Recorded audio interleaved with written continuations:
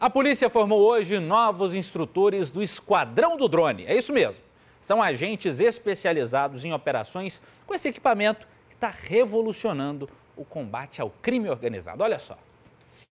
A casa-alvo da operação foi monitorada do alto e o líder da quadrilha de tráfico de drogas acabou preso. No local, a polícia encontrou muita cocaína escondida.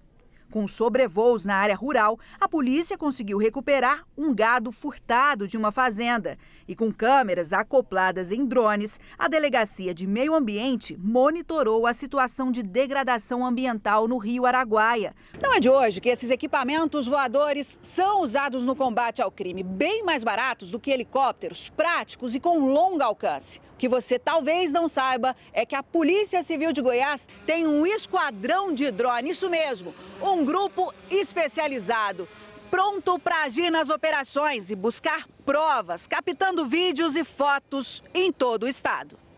O esquadrão, que começou no ano passado com apenas seis policiais, está se multiplicando para dar cobertura a todo o estado.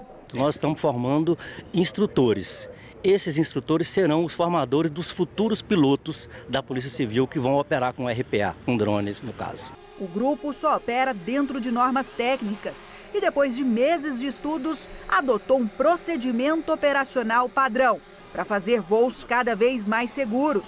Os equipamentos foram doados pela Receita Federal, que também auxilia com conhecimento técnico. Basicamente, é proibido sobrevoar áreas povoadas, aglomerações de pessoas, estádios de futebol, proximidade de cabeceiras de pistas de aeroportos, helipontos e outros lugares onde haja uma movimentação.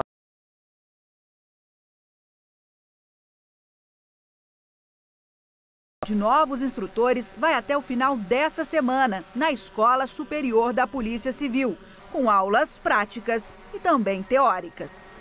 Até parece um brinquedinho, né? Mas está longe disso. Drone é uma aeronave. Eu acabei de aprender aqui na aula que precisa de autorização.